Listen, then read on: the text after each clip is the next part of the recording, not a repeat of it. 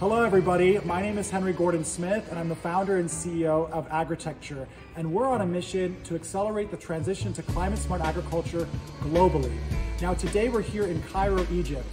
Egypt is a really interesting country because it's got a massive population that's growing and it's on the edge of climate change. It's actually one of the top water scarce countries in the world and it actually produces a lot of agriculture. So there's both this challenge of managing climate change, but also the opportunity of a rich agricultural history and a large market that can consume the product and also export it to Europe and around the world. Now we're here in Cairo, Egypt, investigating more about the food system and finding key innovators across what's called the farm to fork strategy, which as you can tell is a mimic of the European farm to fork strategy. So what this means is we're looking at sustainable food production, sustainable food distribution and management, as well as consumption and managing food waste. So in this short video, we're gonna feature some farmers and some people across that food system to showcase what's happening in Egypt and tell you a little bit more about how Egypt is leading the way in climate smart agriculture. Take a look. This is Khaled, uh, co-founder of Kiwa.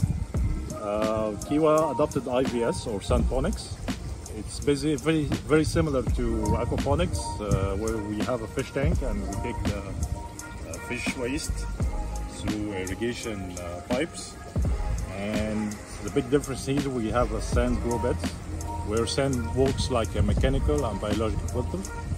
And also it's a growing media, so it's very efficient compared uh, to uh, aquaponics. We also make use of the solid waste of the fish in aquaponics, you have to get rid of the fish waste, solid fish waste. So uh, also we have uh, uh, efficient energy use because only the pumps work uh, two hours a day. Um, and of course, it's uh, more tolerant and resilient because we here we can withstand power outage. And it's very important feature that we can grow leafy greens and vine crops with no extra investment. I'm very excited because we are sol solving a, a real uh, problem, uh, the water scarcity, because here we, we only use 10% of uh, water compared to other uh, conventional methods. So um, yeah, I'm, I'm, we, are, we have a value in this uh, system and it's also um, uh, suitable to our environment. You know, we have a lot of sand, not just importing technology from Europe or America, that doesn't suit our environment. So we have a big advantage and value that we see or we are pursuing.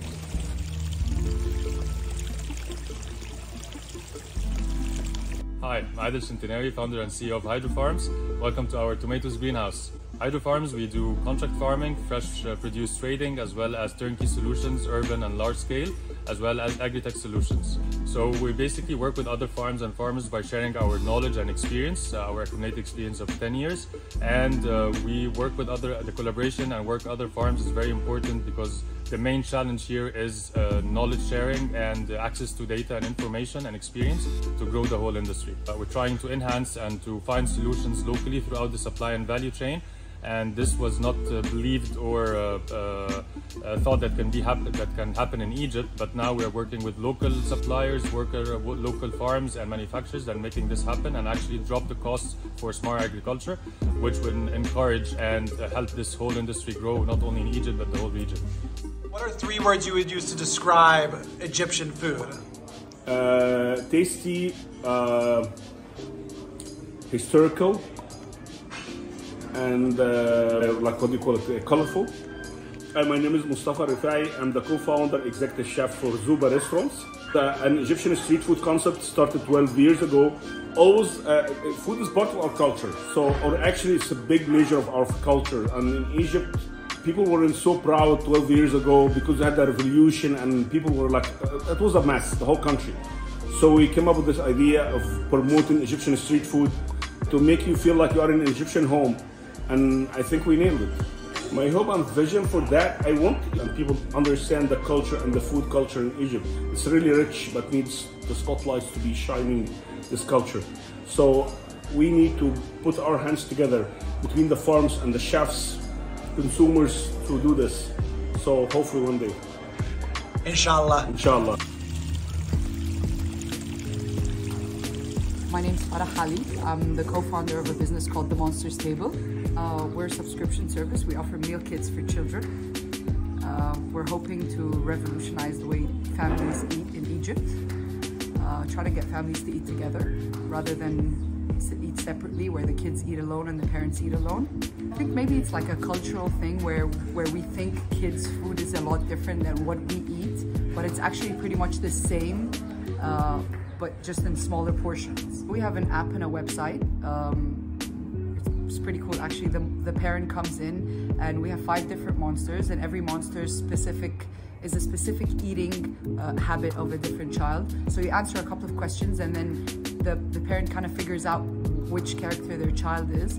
And then uh, our meals are portioned in, in that way so that like, let's say Willow is one of our characters. He doesn't like veggies. He doesn't like to see his veggies. So all his veggies start off hidden and then we kind of upgrade the child to see his veggies so that they fall in love with the veggies later on. I like the fact that everything's made in Egypt, the branding's made in Egypt, our chefs are Egyptian, our food's all local.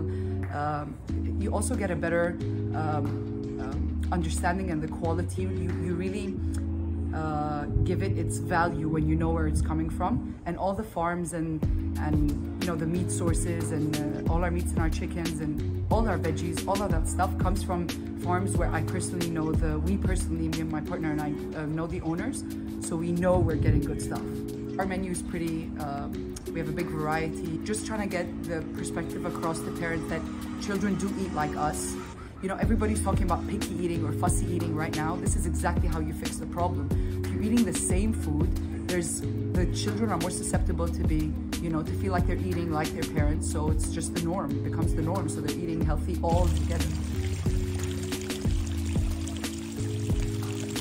This is Shadi Ahmed. I'm co-founder uh, CCO of uh, Zest. Zest is a, a, content company specialized in creating food content. Uh, we began six years ago, uh, having the uh, the vision to be the Middle Eastern cuisine and the Egyptian uh, library cuisine on the internet. We are aiming to answer the question of the daily question of what we will eat today. So if you are hungry, the first thing that should come to your head is Zest. So you uh, open one of our channels. We are uh, on different platforms, YouTube, Facebook, and Instagram, uh, and see what we have cooked for you today. Most of the of the videos, uh, all of the videos are based on uh, local uh, local ingredients from the, that you can find on the shelf in the supermarket behind you. The Egyptian cuisine is very well, well very, very old cuisine, very deep rooted.